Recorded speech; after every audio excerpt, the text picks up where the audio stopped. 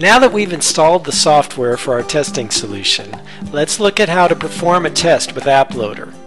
Every test begins with a scenario. The best practice is to start with a diagram outlining the business processes you want to test. This flowchart will become the blueprint for your scenario. So, say we want to create a scenario to purchase an airline ticket. The first step in the process is to open the airline website. Next, we'll need to search for flights. And finally, we'll select round-trip tickets. So we've got three main functions that can be built or recorded separately or together. Now, let's also say we want to know not only how long this process takes overall, but how long specific functions within the overall process take. For example, we can track the amount of time the website takes to load, as well as the time elapsed to reveal a total trip cost for the flights we specify. Believe it or not, the hardest part of creating a scenario has just been completed. The way you explain how to test an application is the way you build a scenario. Everyday terminology like open browser, double click icon, or enter text easily translates to Scenario Builder's intuitive set of actions. Furthermore, Scenario Builder's Recorder lets you create a scenario by simply using your application. If you're sensing that Scenario Builder is different, you're right. Scenario Builder's uniquely simple front-end approach is not affected by or concerned with protocols. Any application accessible from a Windows desktop can be tested with Scenario Builder. Fat Client, Java, .NET, Citrix, or any combination of protocols. It's all the same to Scenario Builder. Now getting back to our diagram, let's see how our outline converts to a scenario. First, notice that the business processes described in our diagram are components in our scenario. A look inside a component shows the individual steps or actions that go into that particular business process. While not mandatory, components do provide an organizational framework that facilitates scenario management and troubleshooting. Also, components can be called multiple times from within the current scenario or by other scenarios within the project. In our diagram, we noted the need to track response times for the website to load and for the total trip cost to calculate. In our scenario, we use transactions to mark and time these steps. By framing actions with transaction markers, we can isolate and report response times for specific segments of our scenario. Back to the scenario window, check out the On Failure section listed at the end of the scenario.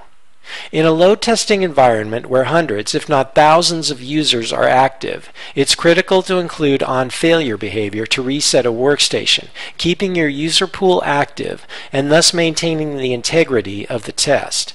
In this scenario, on failure closes the internet browser to reset the workstation and raises a failure notification so that the execution report reflects the incomplete iteration.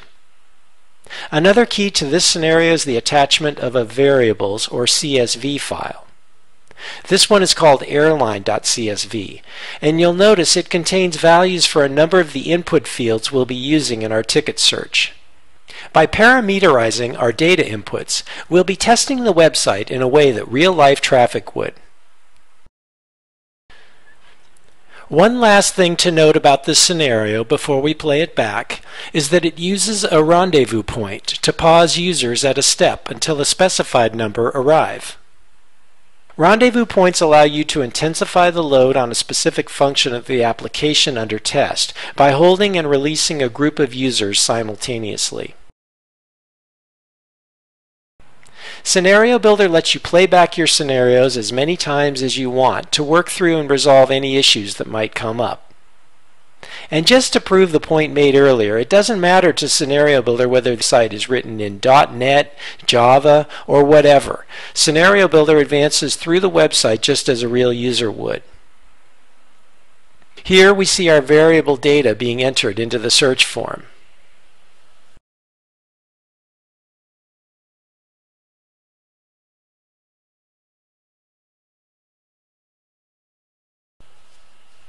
Notice that Scenario Builder provides a play-by-play -play account of the status of the scenario as it's playing back.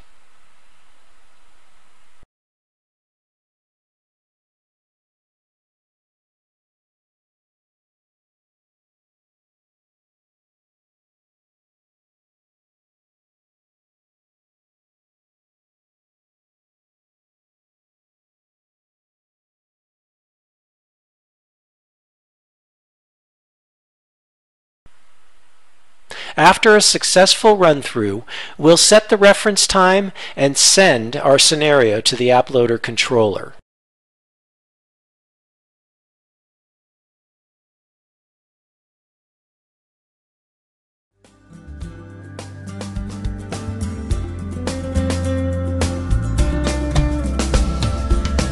Join us in our next video as we create and run a test plan from the AppLoader controller.